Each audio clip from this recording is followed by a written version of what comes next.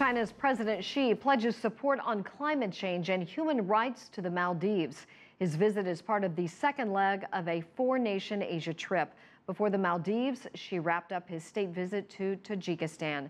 China and Tajikistan pledged to deepen cooperation in various fields to achieve common prosperity. CCTV's Zhao Yunjie has more. This was President Xi Jinping's first day visit in Tajikistan. A year after the two countries established a strategic partnership, Xi Jinping called for closer cooperation in areas including trade, transport infrastructure, electricity, and energy. That includes the Tajikistan section of the China Central Asia gas pipeline. The two leaders attended a ceremony for the construction of the fourth line. Xi Jinping said the project benefits all countries along the line.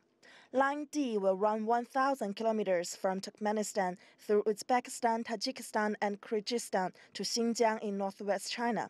The longest section will be in Tajikistan. The pipeline connects five Central Asian countries with China and improves energy security by not putting all the eggs in one basket.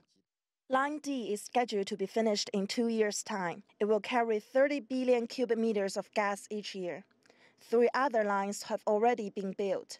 The complete network will be the biggest in Central Asia, transporting 85 billion cubic meters of gas a year. China is expected to consume around 400 billion cubic meters of natural gas in 2020.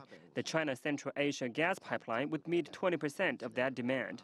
The two sides also signed a joint statement on cooperation in the coming five years. Xi Jinping proposed an increase of bilateral trade to 3 billion US dollars a year. China is currently Tajikistan's third largest trading partner with $1.9 billion of bilateral trade in 2013, up 5.3% from the previous year.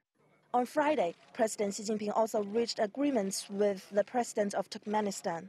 Xi Jinping said both countries should ensure the construction and operation of the China Central Asia gas pipeline, jointly push forward the creation of the Silk Road Economic Belt, and fight against terrorism. Tajikistan is the first leg of Xi's four-nation Asia trip, which will also take him to the Maldives, Sri Lanka, and India. Zhao Yunjie, CCTV.